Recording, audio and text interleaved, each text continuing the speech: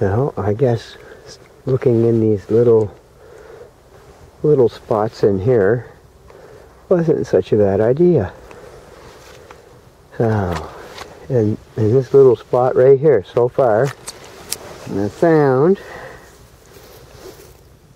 some uh, some volcanic rock or igneous rock.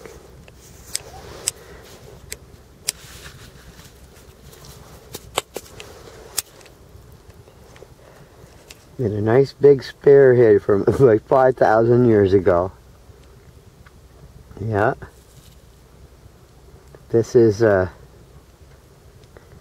definitely a, a Folsom, Folsom Clovis type here.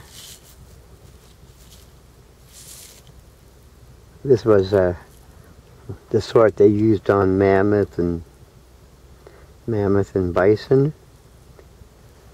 And I think that is a piece of ivory. It's all miscolored because it's thousands of years old, but it's still ivory.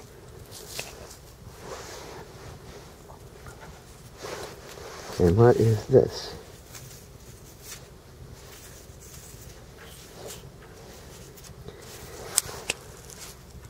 Oh, that's a, another type of projectile point.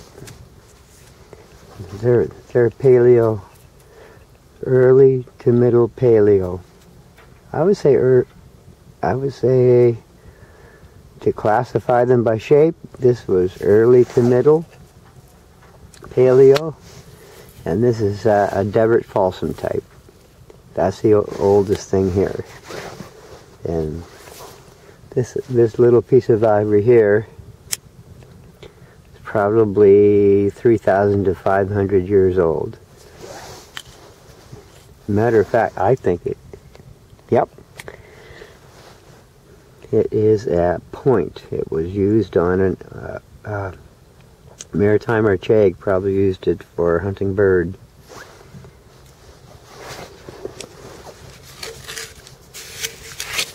Or caribou, whatever.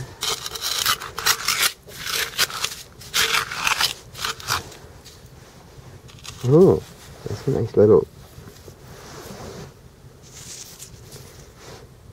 Yeah, that's another arrowhead, but this one here is from ceramic period,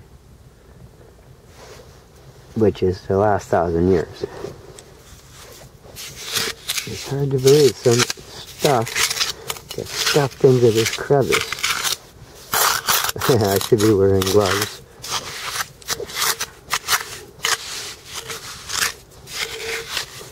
Yeah, I think I'm... Well, I didn't find any trade bead, but I, I did find some other stuff. Oh, my,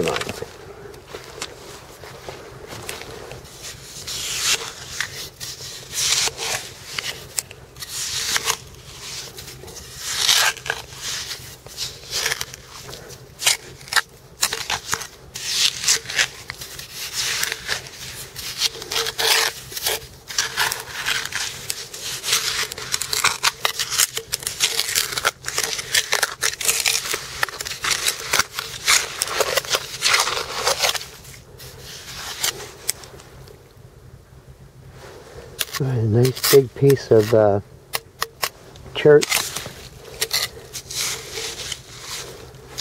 rhyolite, I should say.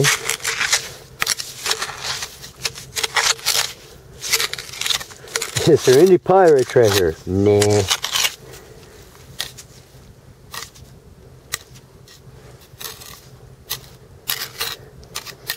Yeah, I bet you can get some flakes off those for Okay, I gotta put my gloves on. My fingers are starting to complain. Uh, I will, if I find anything else, I'll turn the camera on.